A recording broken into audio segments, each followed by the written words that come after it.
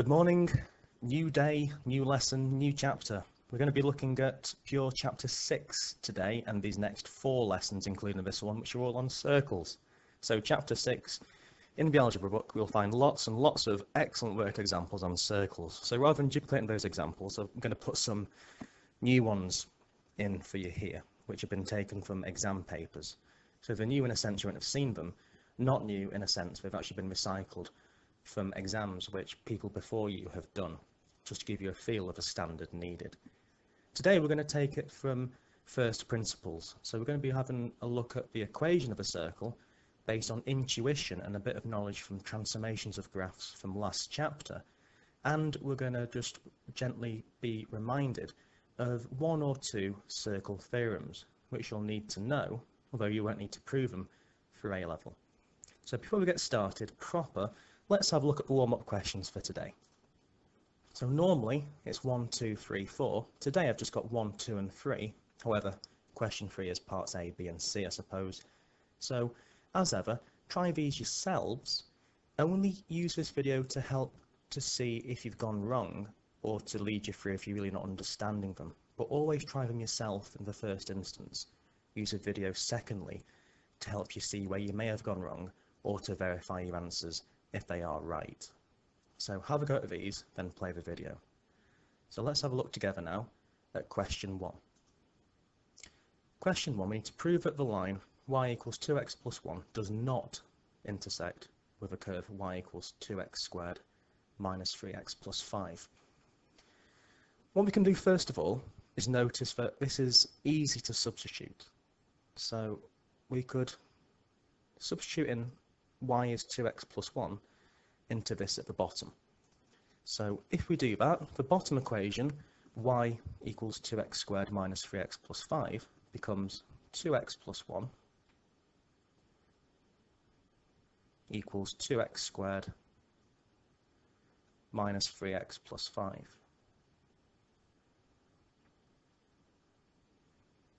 We can now rearrange this into the standard quadratic form ax squared plus bx plus c equals 0 by subtracting away this 2x plus 1 from both sides. I'll just colour code so you can see where this has come from in the first instance.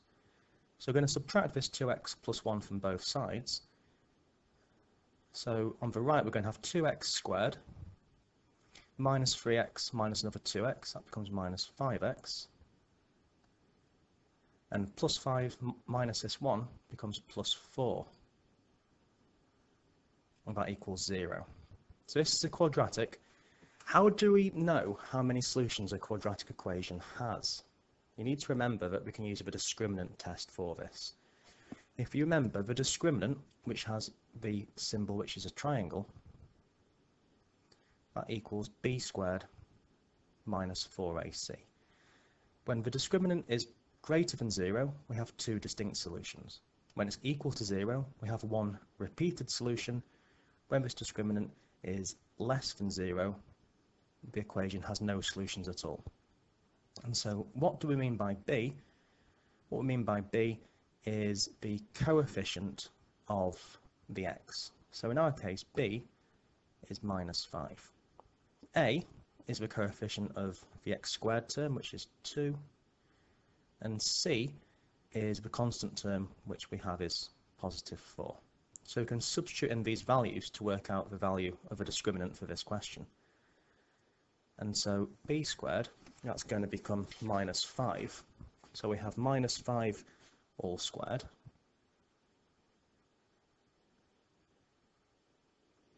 Then minus 4 times 2 times 4. Okay, because b was minus 5, A was 2, and C was 4. And so if we just work this out now, just calculate it, minus 5 all squared is 25. Then minus 4 times 2 times 4, that's 32. 25 minus 32, you could use your calculator as well, of course. That gives you minus 7, and importantly, that's less than 0. Therefore, this quadratic here has no solutions, what this means in our case is that this graph will never meet this graph. No solutions, they never coincide. So therefore, they do not intersect. No points of intersection.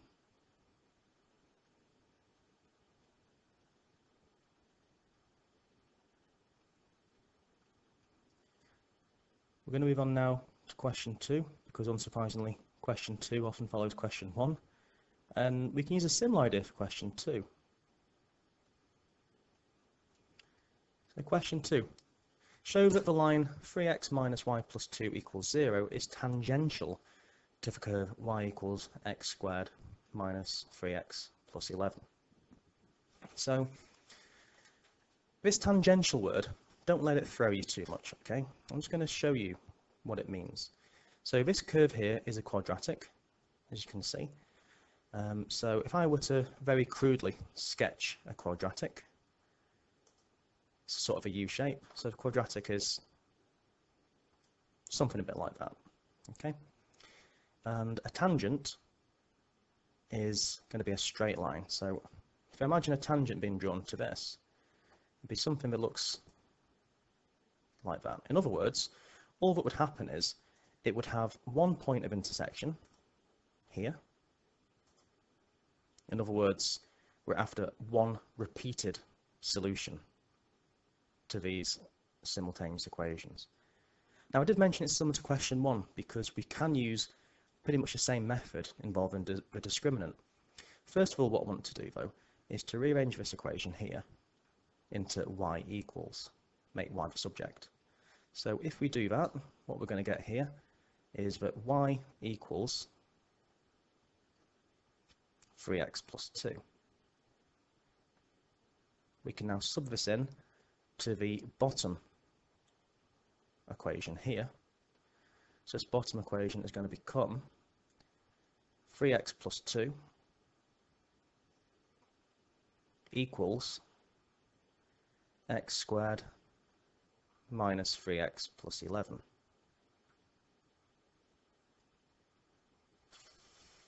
We can now subtract off the 3x and this plus 2 from both sides and we can arrive at x squared minus 6x plus 9 equals 0. Okay, now at this point, you could go one of two ways. I'm going to use a discriminant again, like we did last time, but I'm also just going to section this off and show you at this point how we could have used a completely different, well not completely different, but very much a different idea. And so if I hop this over to here, I'm going to show you afterwards a second method we could have employed. But first of all, let's just use the discriminant like we did for the first one. So if we remember what the discriminant is, discriminant is b squared minus 4ac. And if a line is tangential, it's only going to meet the curve at one place, so it's going to have one solution. So this discriminant here must be exactly equal to zero if it has only one solution exactly. So using this equation here, b is the coefficient of the x term, and so for b in this case is minus 6.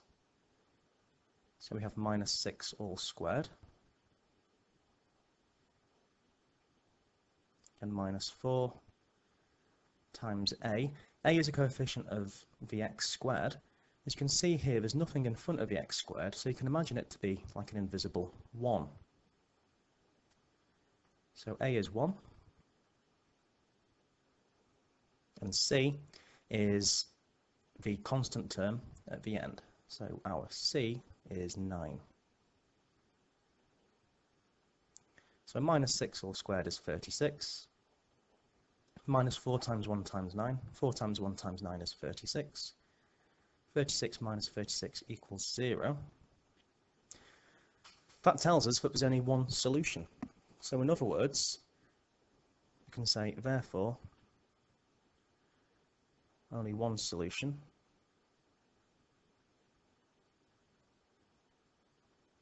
Now, if there's only one solution, that can only happen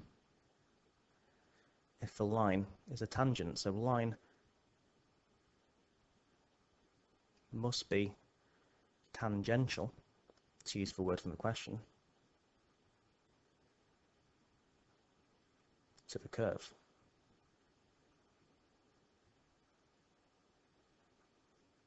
If this discriminant had have been less than zero, the line would never have met the curve at all.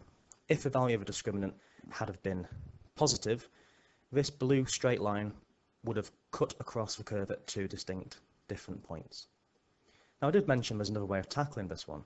So instead of using the discriminant, let's see if we could have done something else here. Generally speaking, if something can factorise, it's often a good idea to see if it can and what we get if it does. This does indeed factorise.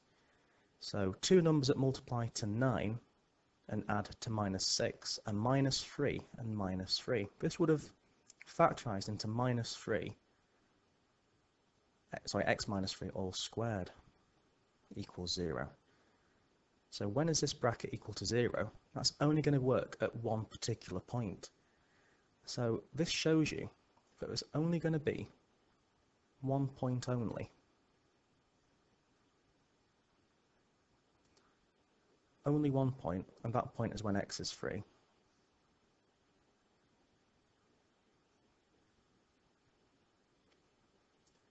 Where the line meets the curve.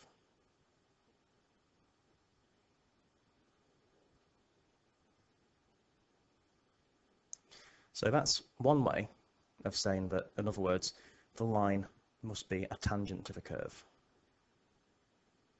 So therefore the line must be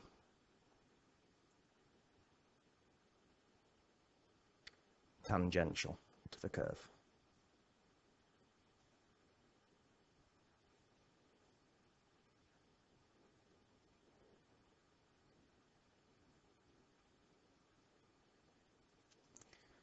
Question three, we've got some graph transformations to do.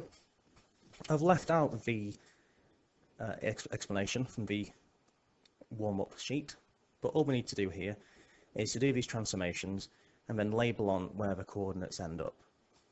So as first one, we've got y is f of x translated to f of x plus 1. This change happens inside the brackets, and so if it happens inside the brackets, it affects the x coordinates only in an opposite common sense way. So rather than the x coordinates having 1 added to them, we're going to subtract 1 from each x coordinate. In other words, this graph is going to move one unit to the left. And so it was here, it's going to slide along one unit to the left to here.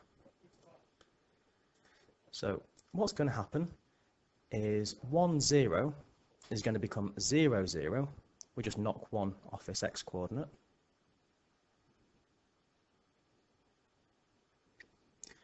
and 4, 0 becomes 3, 0. This point here is going to be somewhere along there.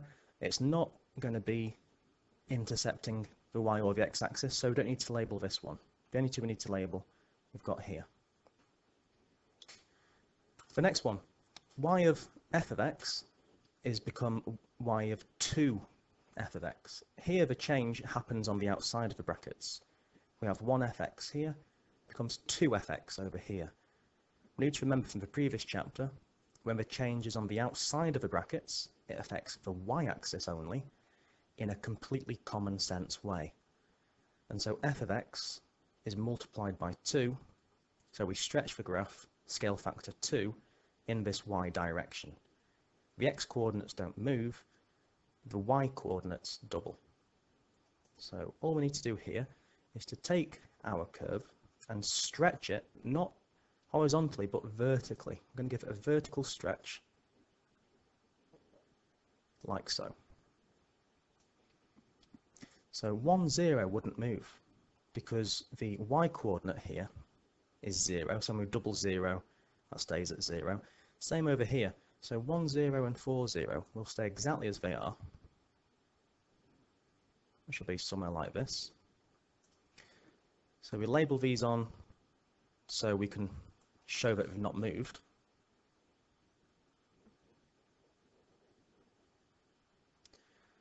and that's 4, 0. However, the y-axis intercept, 0, 3, this 3 is going to double to 6.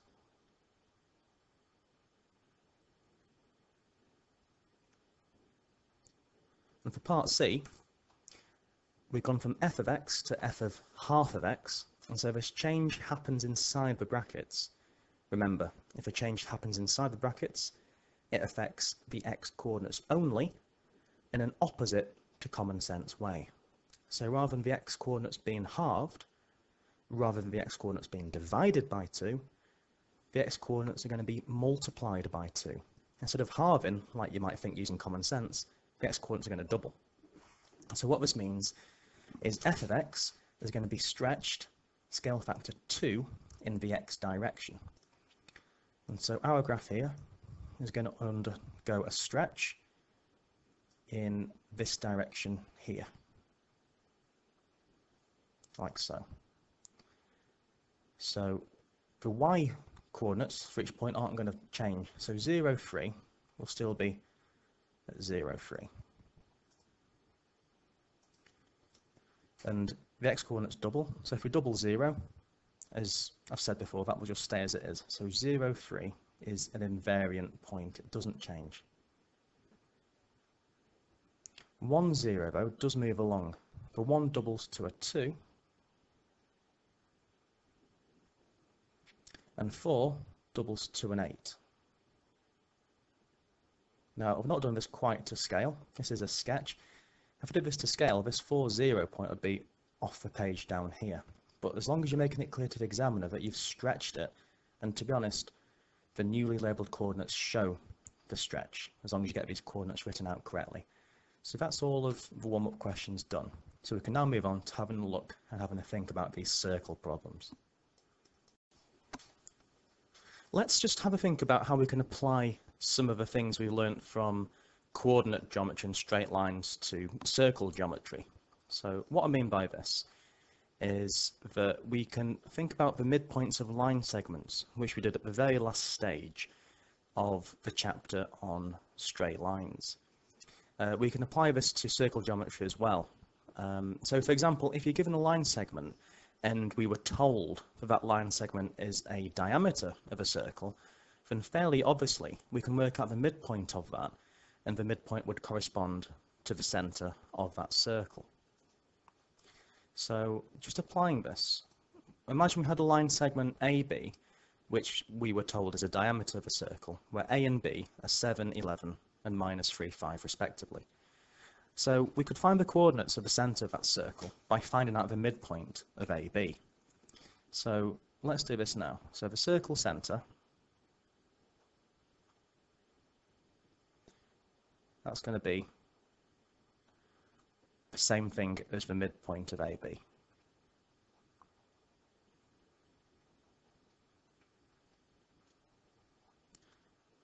So to look at the midpoint of a line segment, what we do is we average out the x values of A and B. So it's going to be x at A plus x of B divided by 2. and average out the y value of A and the y value of B as well in the same way. Now, if you're working out this question in an exam, you don't need to write out what I've just wrote out there. I'm just reminding you where these numbers are going to be coming from.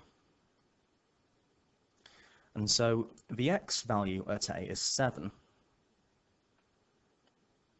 And the x value at y is minus 3. In the same way, the y value at A is 11, and the y value at B is 5. So we do 11 plus 5 over 2. So I'll just colour code where these values have come from. And so the x value at A is 7, hence this 7 here. The x value at B is minus 3, hence that minus 3 there. The y value at A is 11, hence the 11 here. And finally, the y value at b was 5, hence this 5 here. So it's just a case of just simple substitution. So now we can just calculate this now. So 7 plus minus 3 is 4. 4 divided by 2 is 2. And over here, 11 plus 5 is 16. 16 divided by 2 is 8. So the midpoint of a circle would be 2, 8. Let's now have a look at worked example 2, which is similar, but with a twist. Worked example 2, again, we've been given a line segment CD. Again, we've been told it's a diameter of the circle, where C is 2, 10. So given that the centre of the circle is minus 2, 1, find the coordinates of D. Now this is different from worked example 1, because here we're told one end of the diameter and the centre of the circle. So in other words, we've been told one end of the diameter and the midpoint of that diameter. The midpoint of the diameter is, of course, the circle centre. I'm going to show you two different ways of doing this. We can use the formula like we did earlier for worked example 1. I'm going to show you how to do that first.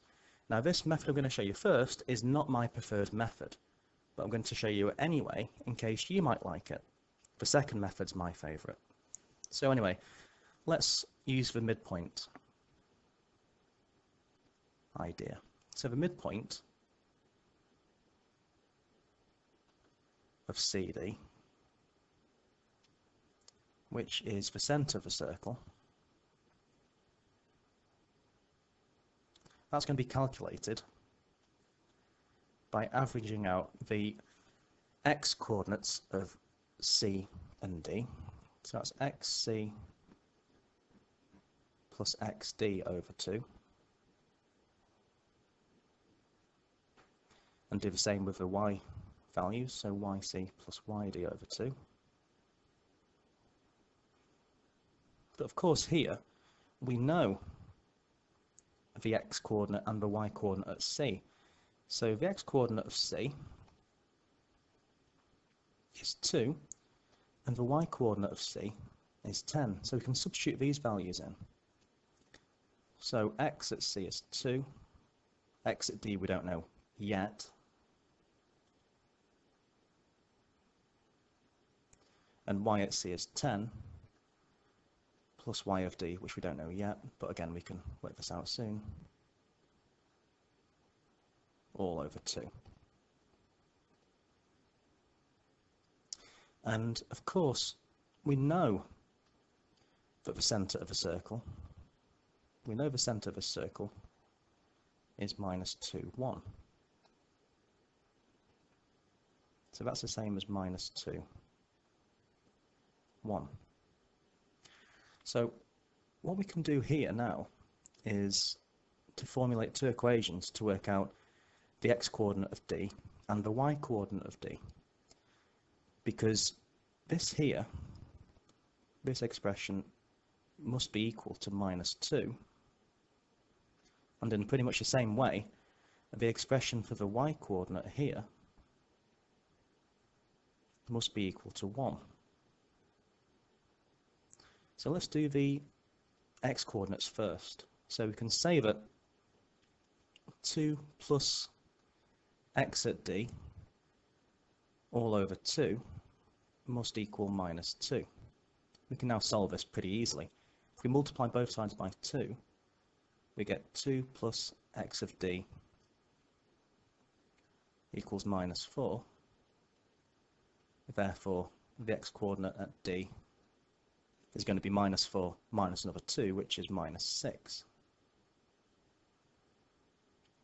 We can now do similar for the y-coordinates. So 10 plus y at d divided by 2 must equal 1. If we multiply both sides by 2, we get 10 plus y of d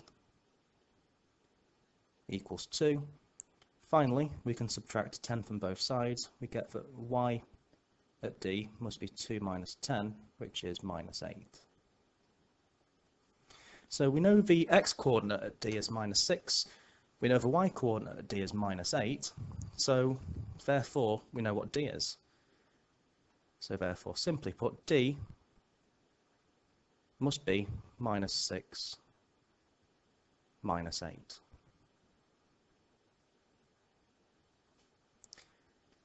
That's one way of doing it. I'm going to show you a second way now. this is more pictorial, more visual. So we could start, because now it's a circle problem, we could start off by just drawing a circle. So let's just fill in step by step what we're told in this question. So first of all, we're told that the centre of the circle is minus 2, 1. So we can add this into our diagram.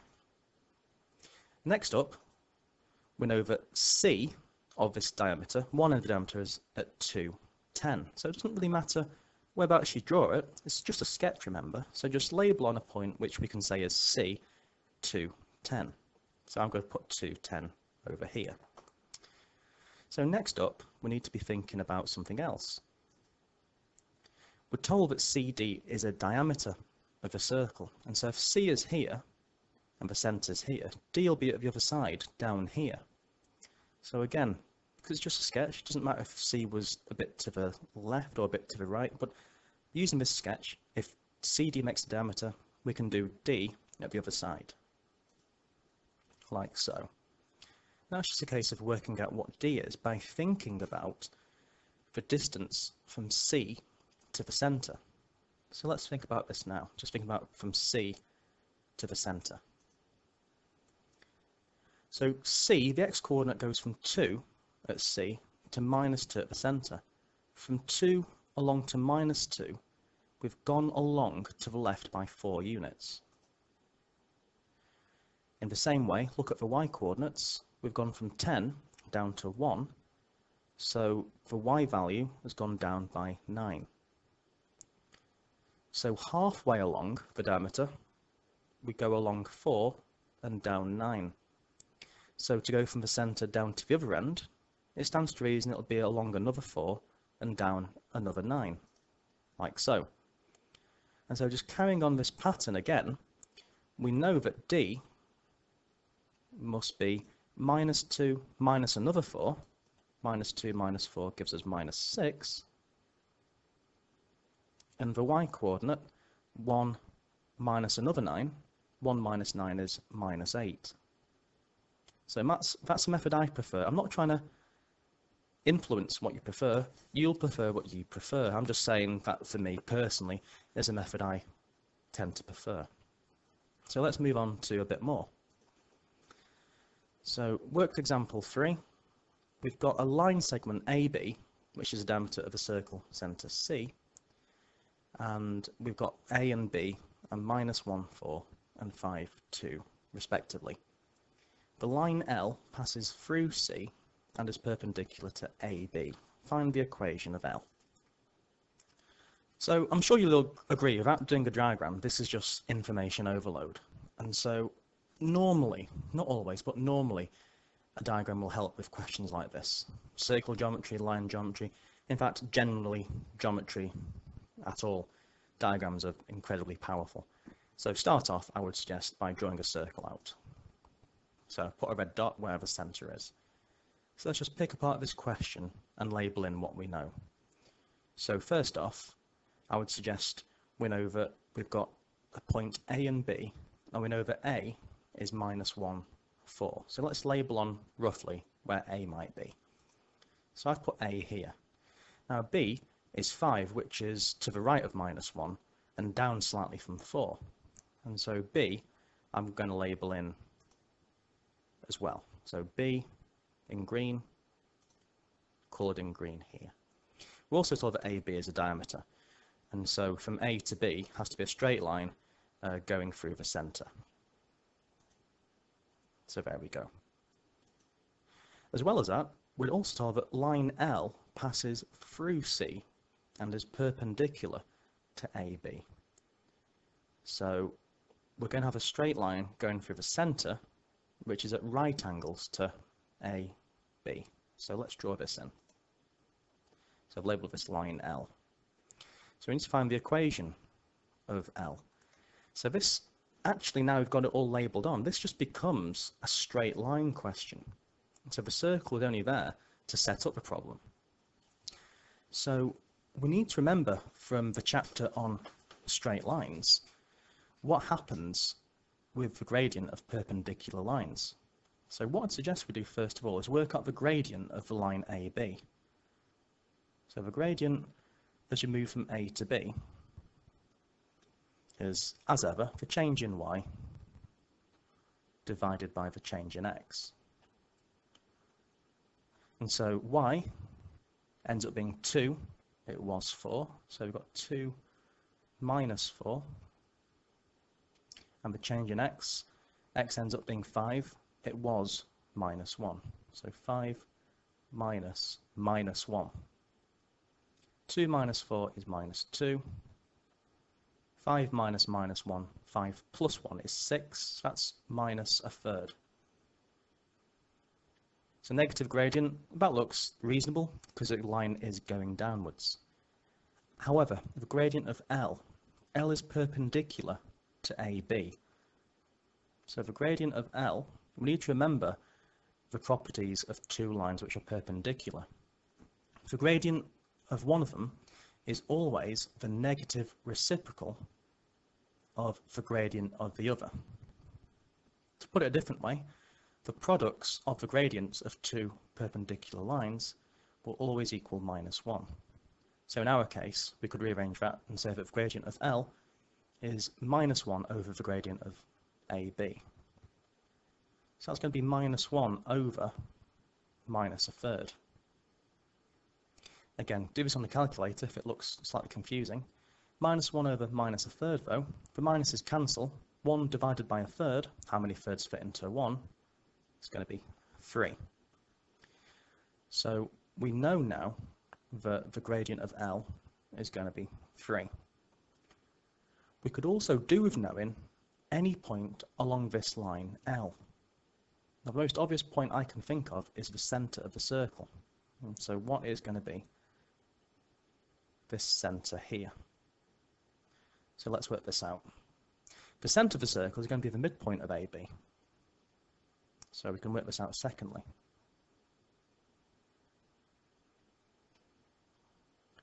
So for midpoint of AB, we're just going to average out the coordinates of A and B. So the x-coordinate of A is minus 1, the x-coordinate of B is 5. So minus 1 plus 5 all over 2. And the y-coordinates 4 plus 2 all over 2. And so that's going to become 2, 3. So we know the gradient of this line L is 3. We know a point on the line is, my, is 2 and 3. We can now use this form of the equation. y minus a known y coordinate equals a gradient, brackets, x minus a known x coordinate. So if we apply this to what we now know, for line L, y minus, we know it goes through 2, 3.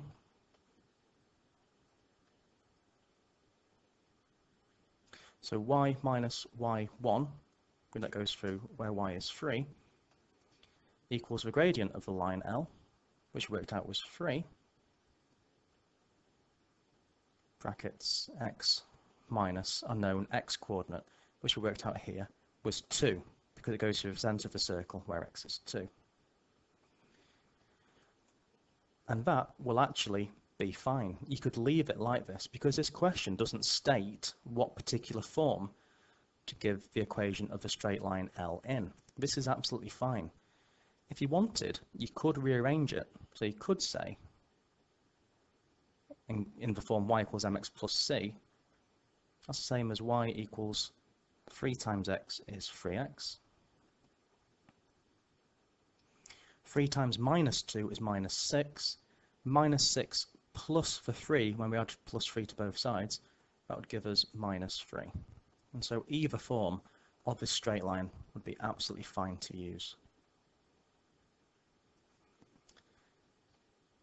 I've done this in a different order to your notes, doesn't particularly matter, but just to mention here, rather than never, in chapter 5, we practice finding the equations of lines perpendicular to a given line. So this idea can be extended to the idea of a perpendicular bisector. So a line perpendicular to a given line segment that also bisects that line segment as well.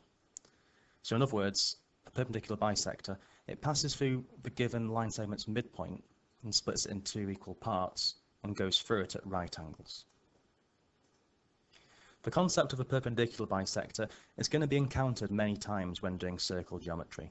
Indeed, as we're going to see and prove later, the perpendicular bisector of a circle's chord will always pass through the centre of the circle.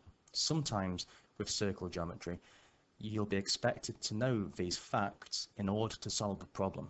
If you don't know these facts, sometimes it stumps you and you can't move on and work out the solution to the problem. So it's important to know these things. Anyway, let's move forward.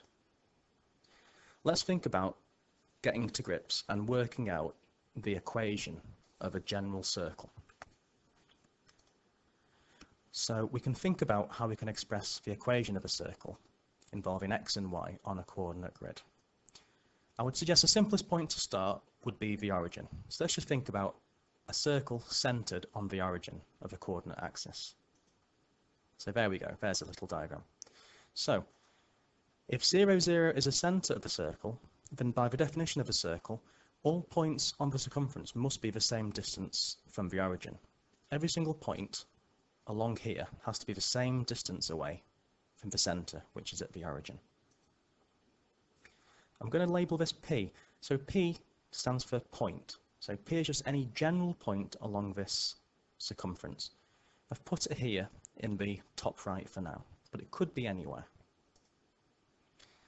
So for any general point P, which has got coordinates x, y, the radius, r, is this distance from 0 to P. Consequently, for any point P, r must be invariant. The radius has to have a fixed value. It stands to reason, it's just common sense. For any circle, r is constant, the radius is fixed. So let's first of all just consider the particular case where we have a circle centered on the origin where the radius r is 5. Let's just think about if we can see what's going to be going on here. So there's this diagram, but now r is 5. So first of all, let's just think of a case where x is 4 and we've got this first quadrant. So x is here in this first quadrant. If you're thinking, what do we mean by quadrant? Quadrant is just splitting up the coordinate grid into four different sections. So, the first quadrant is in the top right, where x and y are both positive. The second quadrant is in the top left, where x is negative but y is still positive.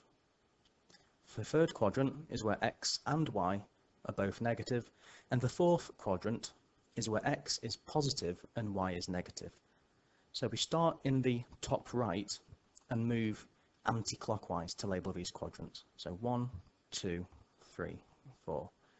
It's not so much of an issue now, but when we do trigonometry, it becomes really important to know these quadrants. So I'm just introducing this notation to you now. So let's get back to what we're talking about. And so if x were 4 and the radius is 5, and we're in this first quadrant, what would the value of y have to be? So I've just basically pinched this here and labelled it. So we know the radius has to be 5, this has to be 4. What's the value of y? So we know y has to be positive because it's in this first quadrant. We're talking about right angled triangles. We know two sides, we want to know a third. So this is going to have something to do with Pythagoras, isn't it? So y here, well the size of y at least, plus 4 squared equals 5 squared, just by using Pythagoras. So y squared must be 5 squared minus 4 squared. 5 squared is 25, 4 squared is 16. 25 minus 16 is 9. This implies that y is going to be the positive square root of 9 because y is up here, y is positive, so y is going to be 3. So in other words, our x squared plus our y squared equals the radius squared. 3 squared plus 4 squared equals 5 squared. And again here, y is positive as this length is positive. A length obviously can only be a positive value, but let's just be a bit creative and let our imaginations go a bit and imagine that y might be a negative. So rather than thinking of y having to be positive, as long as the size of y is positive, the absolute value, let's now consider if y or x could be negative, just to get this idea across. So first of all, I'm hoping you can see now it links to Pythagoras, and just note here that in this particular case, x squared plus y squared is equal to radius squared. Let's try a different point. Okay, again we're picking x is 4. This time we're picking this fourth quadrant here. So this diagram here is almost exactly the same as before, but now y is going down. So it's still the same triangle as before. So we can say using Pythagoras, 5 squared equals 4 squared plus y squared. Rearrange that, we see that y squared is again 5 squared minus 4 squared, which is 9. And so the absolute size of y is 3.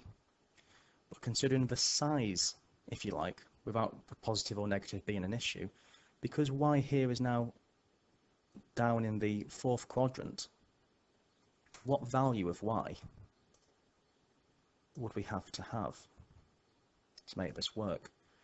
Obviously the size of this line, the length of this line would be 3, but the actual value, the coordinate value of y, would have to be minus 3.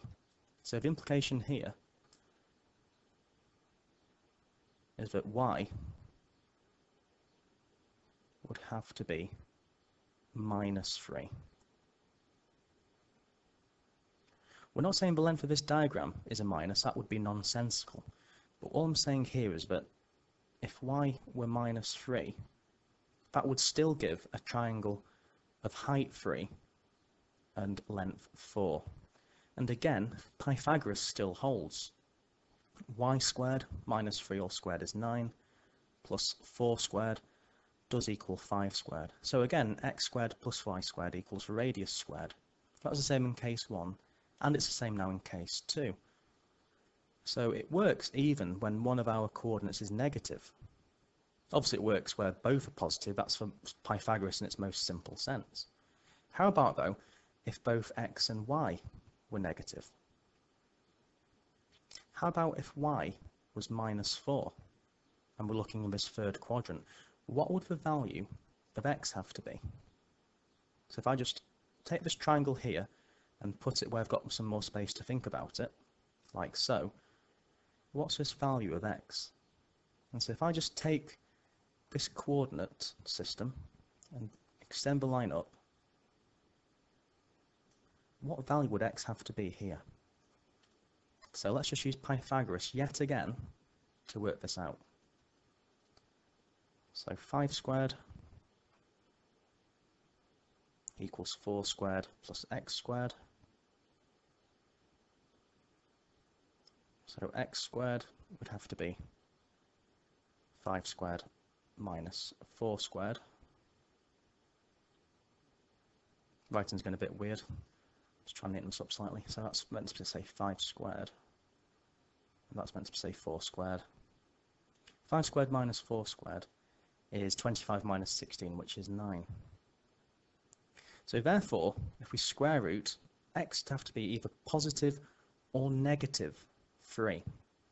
But if we look here, x would have to be minus 3 in this case.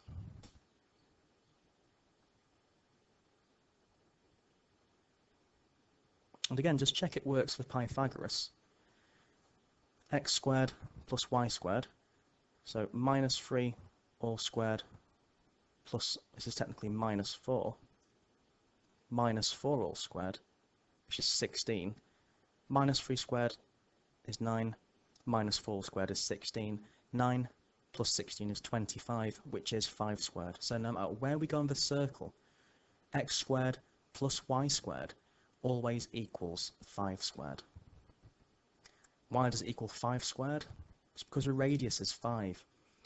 So now we've picked the radius being 5, and we can see that x squared plus y squared equals 5 squared, we can extend this for any radius, not just where the radius is 5. So, like I've just said, we can clearly see how each value of x and y must always conform to this particular equation. x squared plus y squared is 5 squared. In other words, x squared plus y squared is 25 by Pythagoras.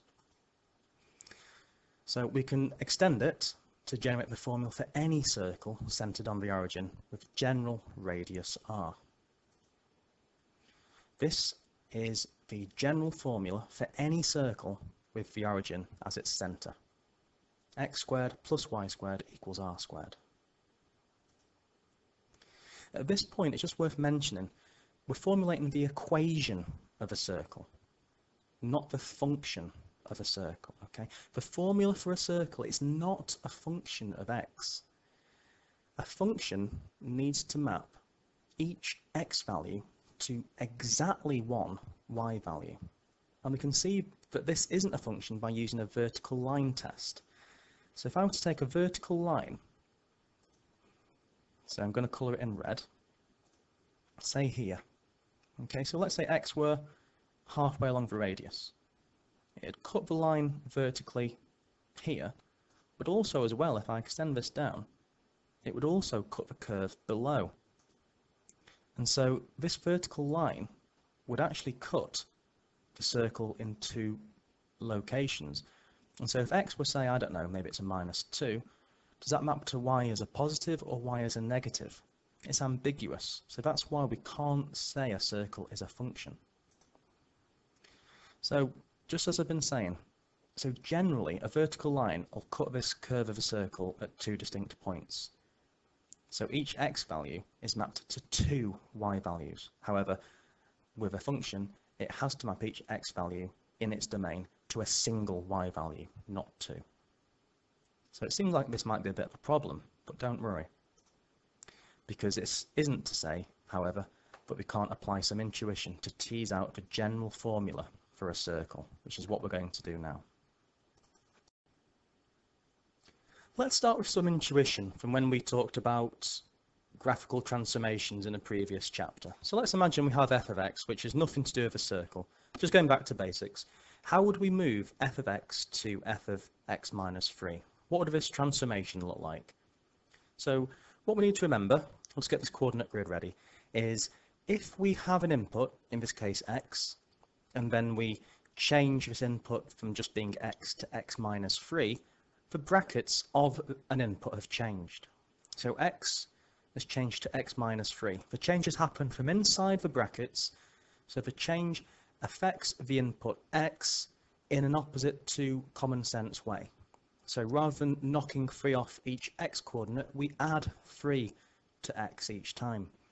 And so this curve here moves free along in the positive x direction. And so what we're going to do here is just simply take these points, move them free along. And so if I try and sketch this now, not that I'm very good at sketching, we'd have something that looks a bit like this.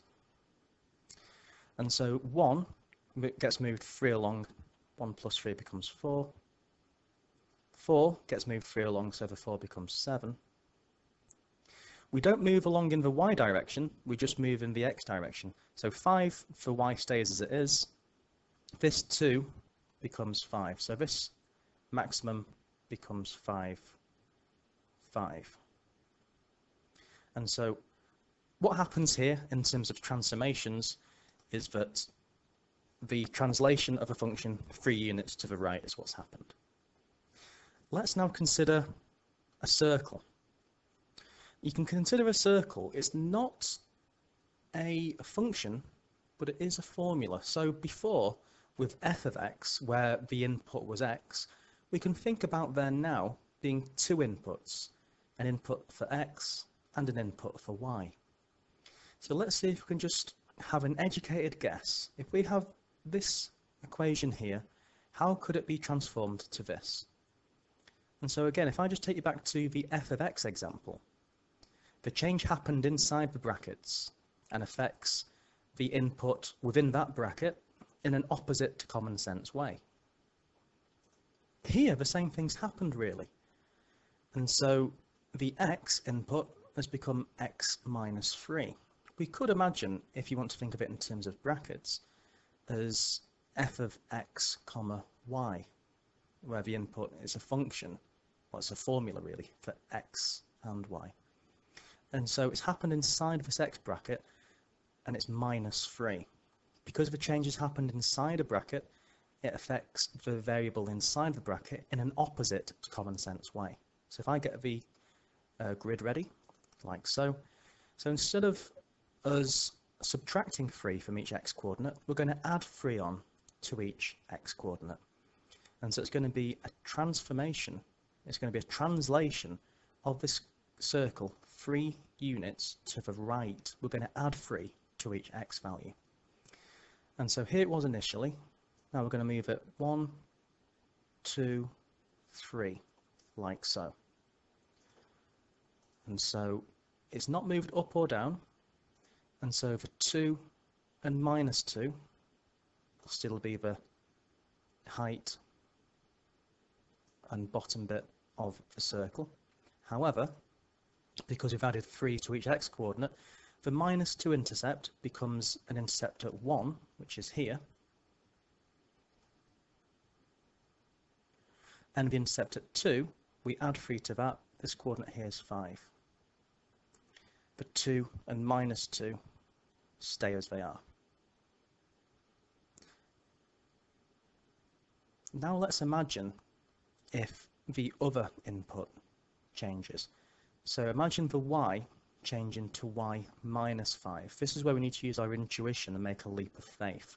I'm going to prove this to you more robustly in a moment or two, but for now let's see if we can sort of use and tease out the formula for a circle using the idea of graphical transformations. So, I have this coordinate grid here, I've just shrunk the circle down somewhat to fit it all on. The y has changed to a y minus 5. It's a change that has occurred within the brackets.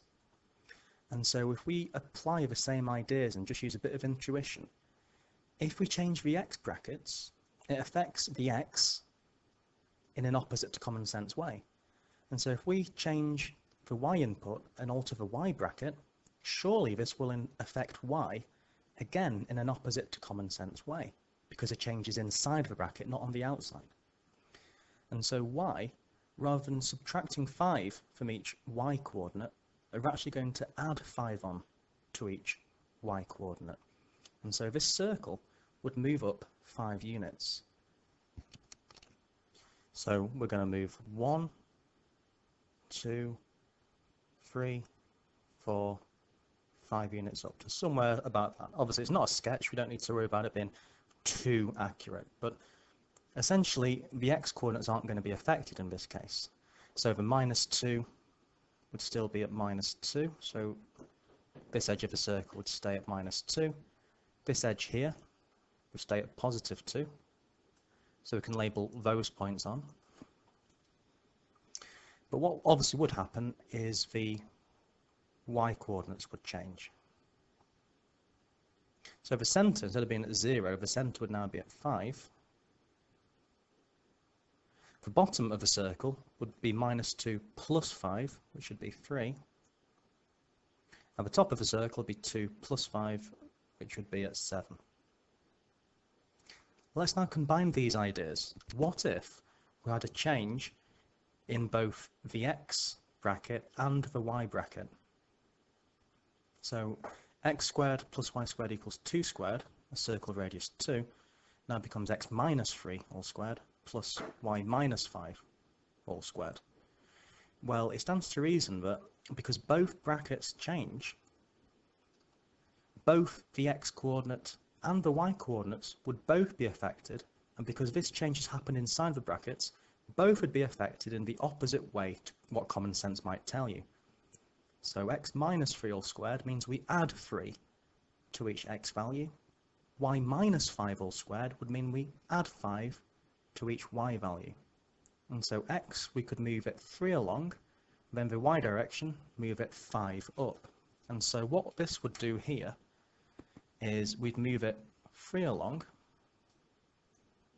1, 2, 3, something like this, and 5 up. And so now we can label on about this new circle where it'd be moved to. And so the centre, because you've moved it three along and five up, the centre of the circle would now be at three, five.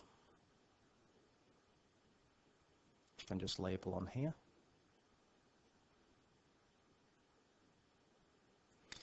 And obviously the extreme points of a circle, because it's got a radius of 2, that's going to be at 1. And this is going to be at 5, so let's label those on now.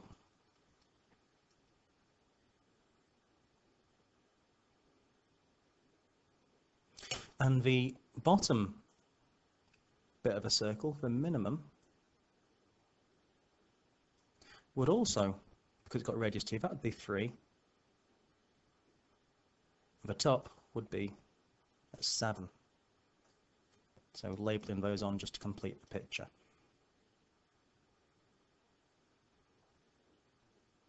So to summarise what's happened here, to go from this formula to this one, what's happened is it's a translation of the circle three units to the right and five units upwards. So it's a circle radius 2, centre 3, 5. Let's now try and generalise these results.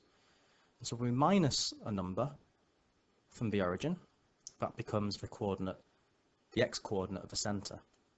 Whatever's in the y bracket, treated as a minus, the minus value is the y-coordinate of the centre. So a circle which is x minus 3 all squared plus y minus 5 all squared has a circle centre 3, 5. So let's now generalise this. So the general form of an equation of a circle is x minus a all squared plus y minus b all squared equals the radius squared, where a, b is the centre of the circle. So I've shown you that by trying to tease out the ideas of transforming graphs from a previous chapter. That might not be as robust as you'd like. So all we've done here is really just use the intuition, where we've made a leap of faith in extending the knowledge from the previous chapter to the y bracket.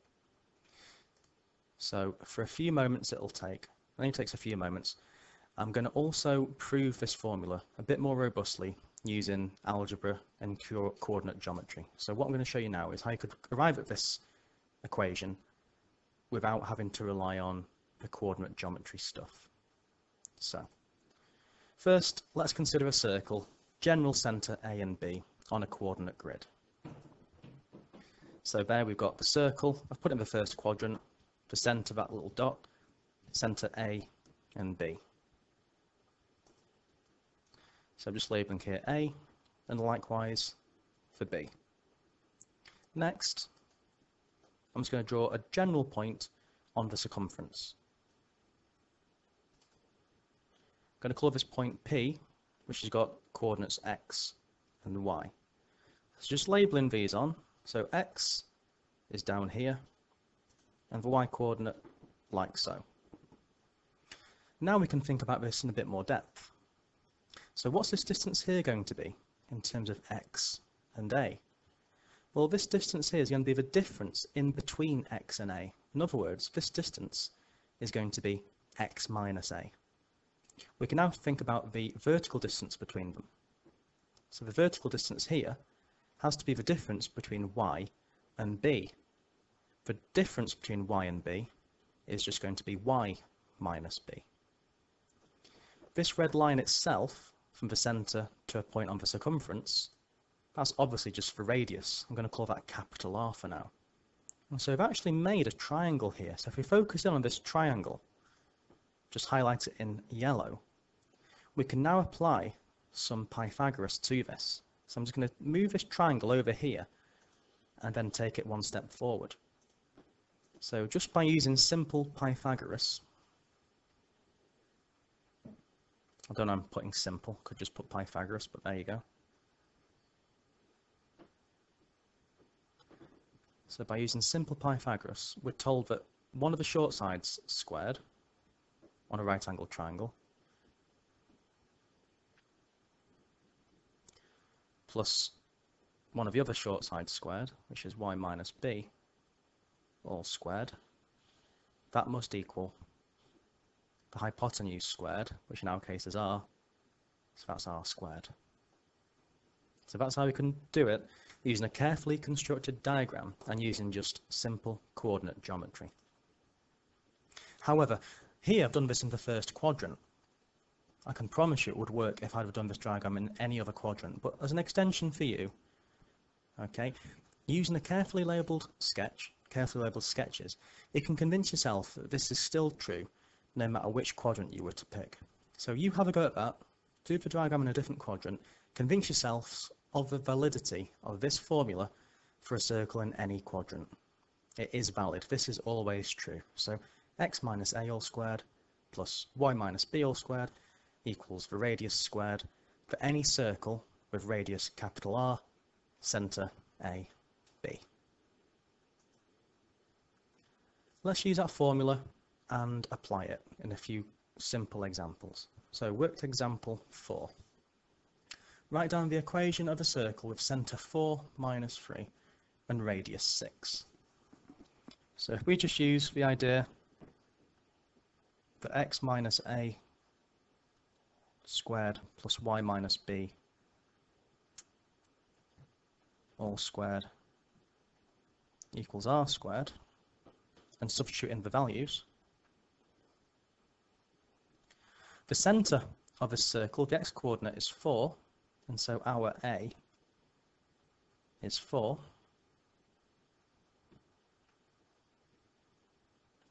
And the y-coordinate of the centre is minus 3. And so our b is minus 3. And that equals the radius of a circle squared. And we're told that the radius of a circle is 6.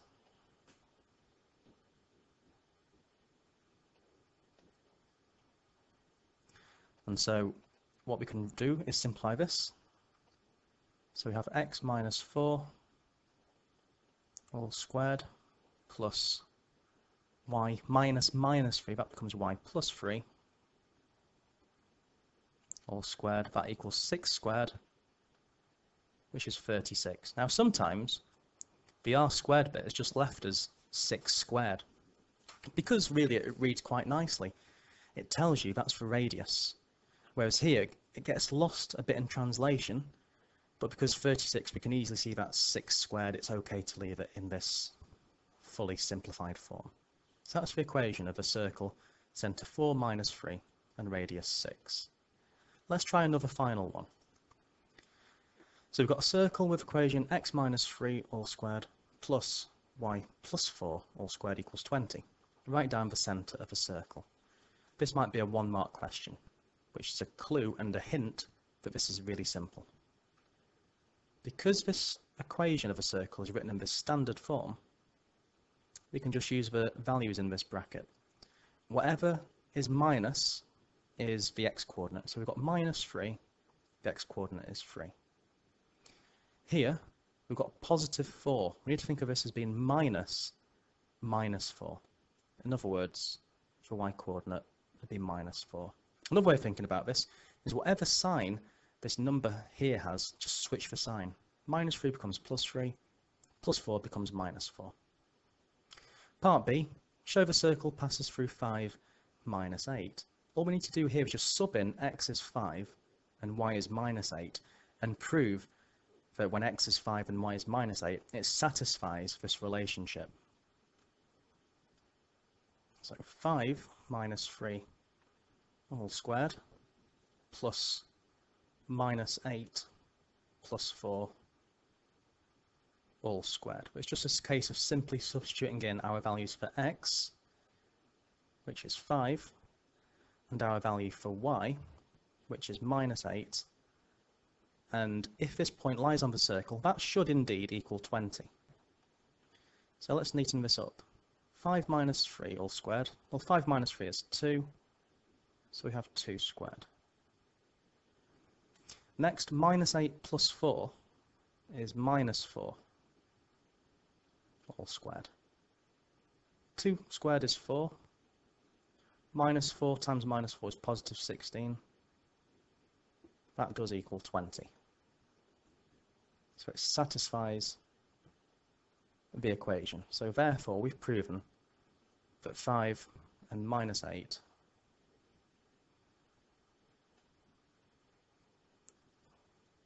lies on the circle.